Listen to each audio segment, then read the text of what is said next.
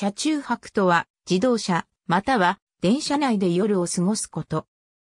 車中泊の定義は団体や媒体などでばらつきがあり定まっていないが、本項目では多くの媒体で返されている通常移動手段として用いている自動車や鉄道車両を宿泊施設の代替として用いて、そこで就寝する事例について記すこととし、車内での一時的な休憩や仮眠、あるいは車両自体が固定されており宿泊施設として取り扱われているものについては本項目では取り扱わない。日本語に関しては定義の通り。初出は不明。英語では stay in a vehicle がおおよそながら対訳語と言ってよい。また、 spending the night in a vehicle という言い回しは、乗り物の中で一晩を過ごすこと、すなわち、車中泊という意味になる。 vehicle は、陸上の輸送用の車輪がついた乗り物全般を表す語であるため、この部分を各種の乗り物を表す語に変えることで特定化できる。中国語では、在車上過ぎよると言い、英語と同様、車は他車、電車、汽車、公共汽車などに置き換え可能。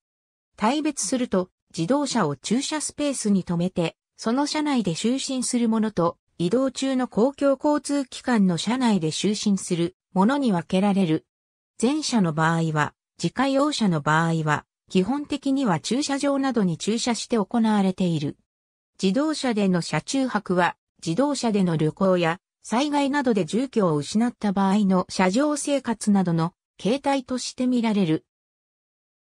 後者の場合は、ほぼ同等のものに、船で旅をしつつ、船内で泊まること、つまり、船内泊や飛行機で旅をしつつ、飛行機内で泊まること、つまり、機内泊などがある。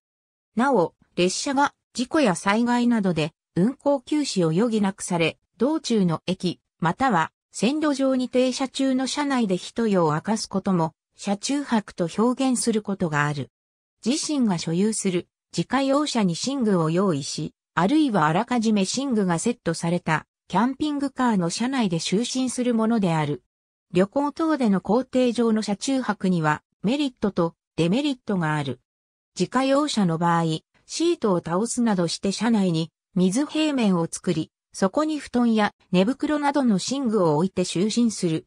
外光が入り込まないように窓ガラスにシートなどで目隠しをすること、車内灯具を用意することも推奨される。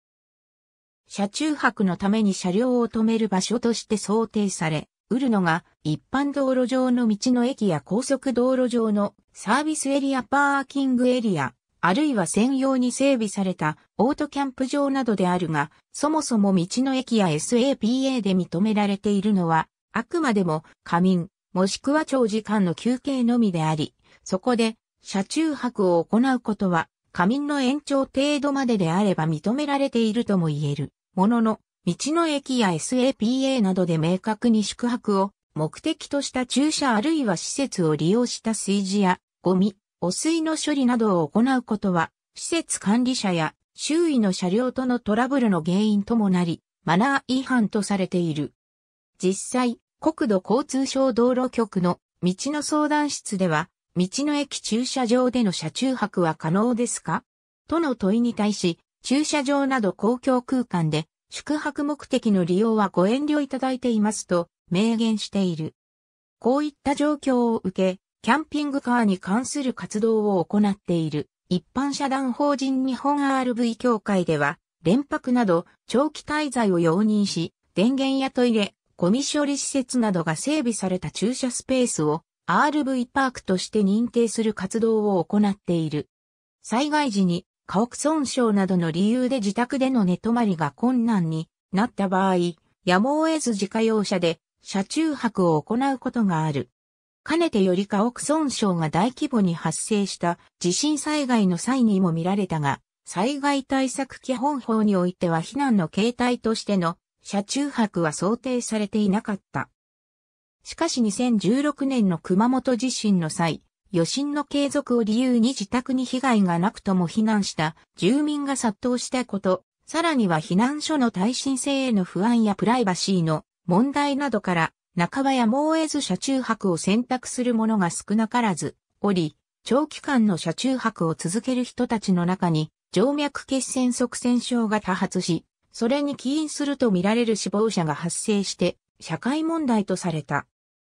これについて、衆議院議員の伊坂信彦の提出した質問主意書に対する政府答弁書に、おいでは、災害時に自動車内に避難した者を車中避難者と位置づけ、災害対策基本法第86条の7のやむを得ない理由により避難所に滞在することができない被災者に該当するとして、同法に基づき必要な生活関連物資の配布、保健医療サービスの提供、情報の提供その他これらのものの生活環境の整備に必要な措置を講ずるよう努めなければならないとの見解を示している。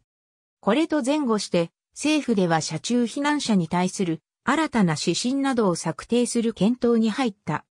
日産自動車とオーテックジャパンは車中泊避難やレジャーなどの需要に対応するため NV200 バネットをベースとした車中泊使用車を発売。2020年2月にはミニバンの5代目セレナをベースとした車両を発売した。2020年に入ると新型コロナウイルス感染症の拡大により避難所での3つの密への不安から車中泊による避難が注目されており、実際に車中泊による避難を想定した訓練も行われている。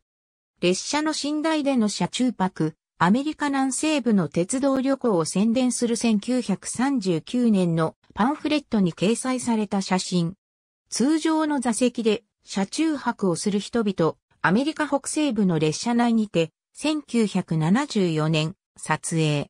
日本語では夜行列車の乗客が鉄道車両の客車の座席、または寝台で寝泊まりすることも車中泊という。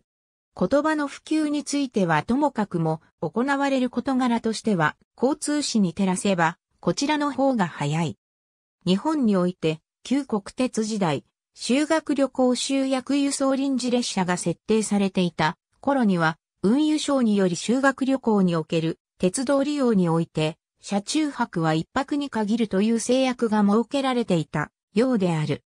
なお、昭和天皇は第二次世界大戦後の混乱期の最中にあった1946年から復興期に入った1955年までの足掛け9年にわたって全国各地を巡行しているが、これによって昭和天皇は車中泊を行った最初の天皇となった。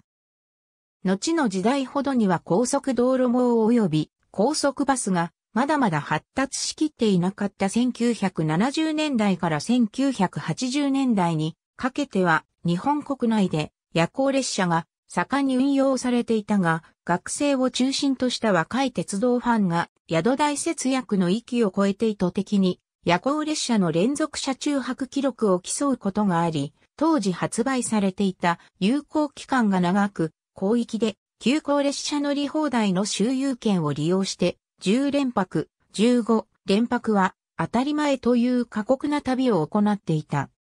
その極地といえる最長記録は当時大阪府豊中市に在住していた男性が1985年4月5日から同年11月13日までかけて日本各地を周遊して達成した222連泊である。ありがとうございます。